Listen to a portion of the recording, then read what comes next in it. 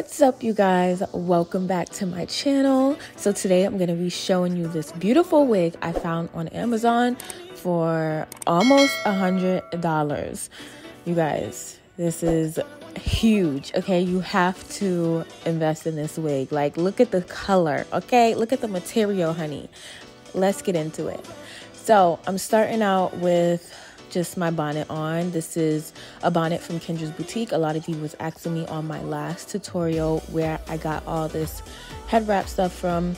I just have my wig cap on under and I ordered this wig from Amazon and this is the box it came in. It comes from Coon Gang, I believe, and the wig comes in this plastic bag inside of the box. And when you take the wig out, you have a wig cap and some lashes, which is so nice of the vendor because sometimes, you know, you don't get wig caps even when you spend like a whole huge chunk of money on wigs. Like you don't really get wig caps. So that's really nice. Um, so this is the wig and I'm gonna take it out of the plastic bag. You guys, I have no clue what I was complaining about. this part was so funny, I decided to leave it in. Um, but yeah, let's continue unboxing. So, this is the wig. It has all of the information about the wig on the bottom of the bag. You know, the inch, um, the color.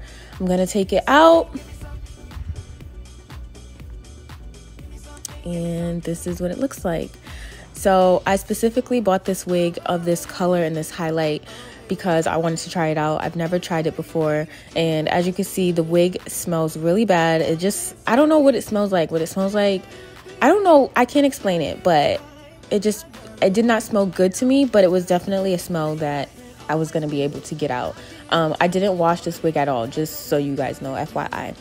So this is just me inspecting the lace wig and I'm just looking at the hairline and the color.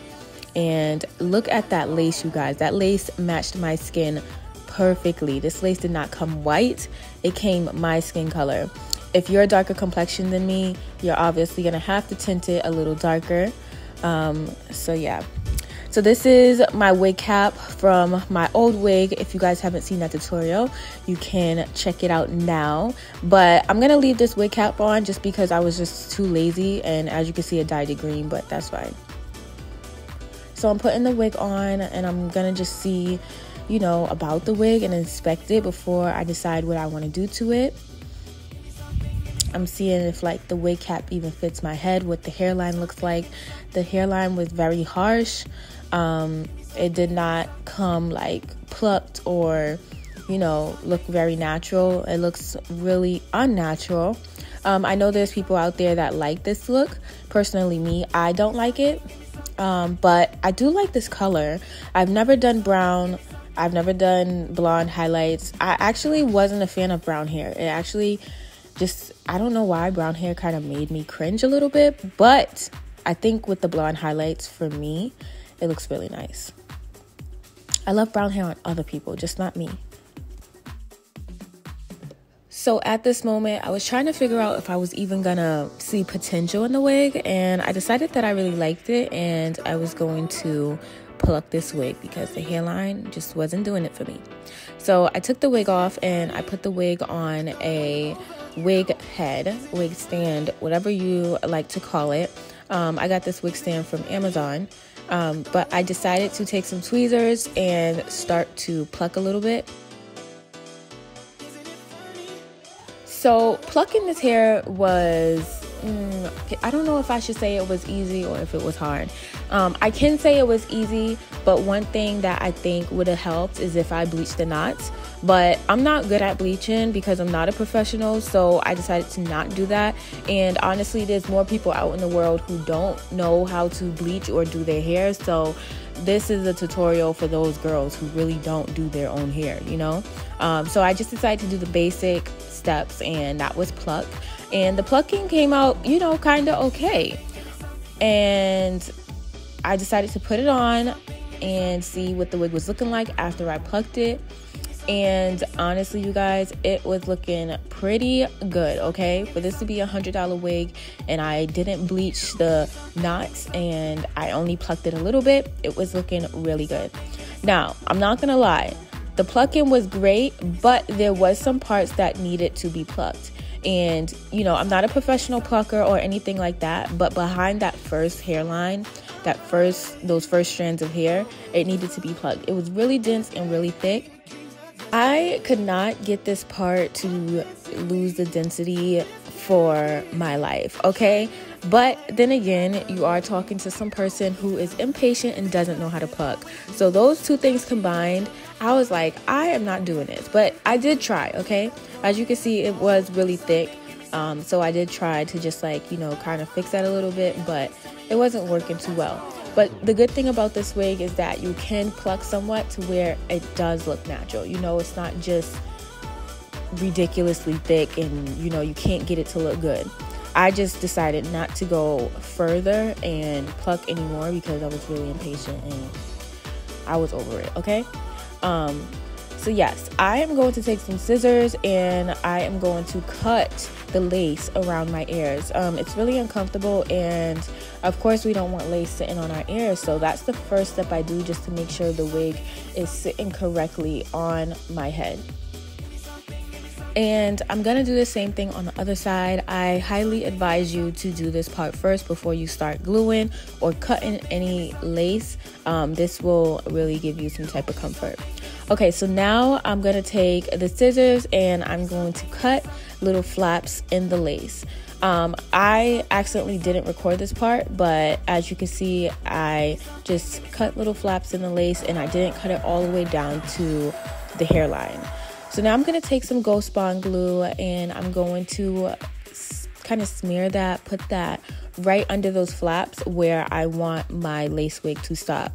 Um, so the way I apply lace glue, I apply it where it kind of goes invisible while I'm applying it. So I apply a really thin layer. Do not apply a thick layer because it will take forever to dry and honestly, it probably won't dry, so your wig will probably be slipping off or doing all kinds of crazy things. So I just keep smearing it across my forehead until it's invisible, just like I did just now.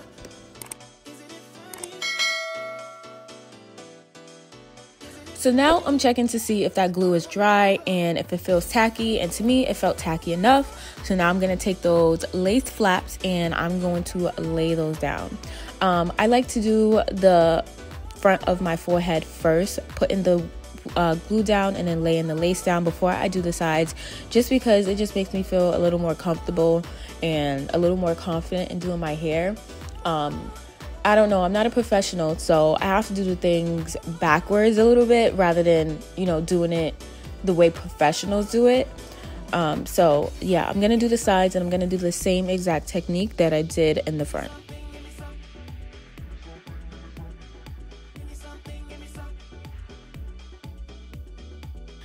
I just want to say that I love this song. you guys might be hearing this song in a couple more tutorials because this song is everything. I love it. Now, I know you guys see me using my finger to press that lace in, but I just want you guys to know that this is not a good thing to do. I'm not a professional, like I said, for the hundredth time. Um, but using your fingers can cause your glue to change colors because you have oil on your hand. But I don't know, I was just kind of winging it. So now I'm going to take an elastic band and I'm going to use that to lay that lace down to make sure that it is secure, okay? And then after like 10 minutes, I'm going to take that off and I'm going to take an eyebrow razor. Um, I do not like to cut my lace with scissors. I like to cut my lace with eyebrow razors because it kind of gives that jagged edge where it will blend into your skin. And I like to use the eyebrow razor with the lace flaps. It makes it so easy to cut where you don't just have to like cut straight across. Like this just makes it like 10 times easier. This is like, I feel like this is like the baby steps of lace wigs. And if it is, I am a proud member of that crew, okay?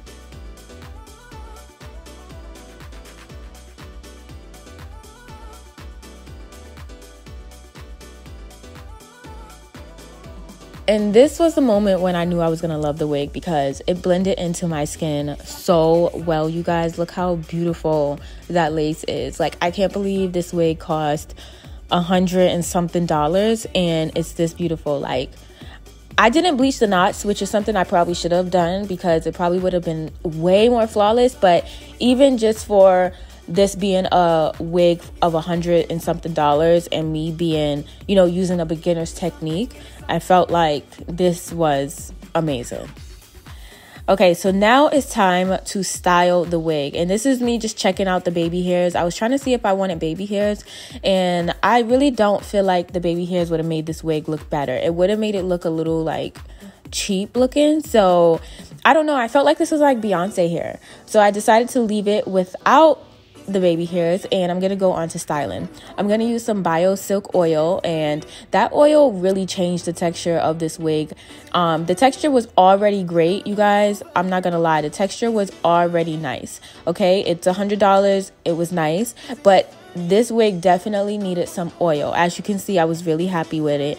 Um, I'm using the Kendra's Boutique hot comb and this hot comb is so hot like it goes up to 500 degrees and I really needed to lay that down because it was just very very it had a lot of volume in it. Um, very thick. So I decided to take some makeup and some bronzer and I had to use that on the scalp part and the middle part because there was no part there. Like i mean it is a hundred dollar wig so that's what happens when a wig is hundred dollars. But we could easily fix that with some bronzer or some concealer. Um, i decided to use bronzer first as a trace and then i went on to using concealer just because sometimes concealer can be a little more bold than bronzer. Um, bronzer is a little more forgiving so i just decided to use the bronzer as a, a, outline and then i used the concealer. And it made it look 10 times better. Like it actually looked like hair so now I'm gonna go on to styling it, and styling it was really well. Um, the hair didn't burn. I was actually scared about the hair burning because I thought it was gonna just like melt on my curling iron. You know, maybe it had some synthetic hair, but it doesn't, you guys. This is 100% human hair, which I'm really, really happy about. Um, so I decided to do some waves, you know, like them beachy waves that the girls, the models be wearing. So I decided to do that and the hair curled perfectly. My curls did fall a little bit after a couple hours, but it wasn't anything drastic and crazy.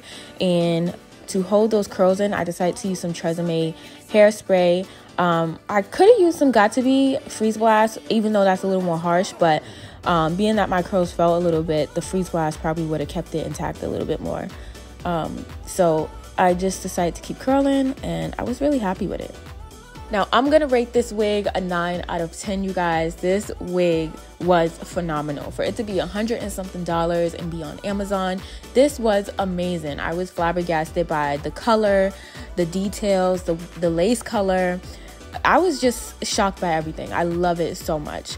All of the information about this wig is going to be down below, even the inch that I bought. I bought this wig with my own money. You guys were going crazy on my Instagram asking me for this link. So here it is. If you decide to purchase this wig, make sure you are subscribing to my channel for more future Amazon wigs that I could put you onto, honey. Okay?